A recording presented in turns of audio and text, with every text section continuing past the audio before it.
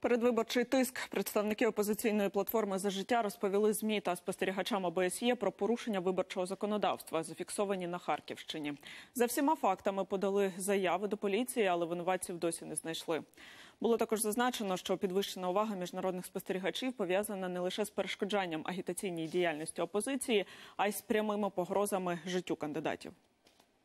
На протяжении этого месяца было совершено три нападения только на офис городской организации «Оппозиционная платформа за жизнь». В моем 171 округе совершены десятки разбойных, по сути говоря, нападений, когда били женщин в живот, обливали неизвестным веществом, резали, крушили эти палатки. К сожалению, правоохранительная система на сегодняшний день в городе Харькове не работает. Она не может обеспечить безопасность харьковчанам. И я со своей стороны против того, чтобы подобные вещи продолжались. Мы однозначно будем после победы на выборах привлекать к ответственности через органы правопорядка тех лиц, которые совершили те преступления,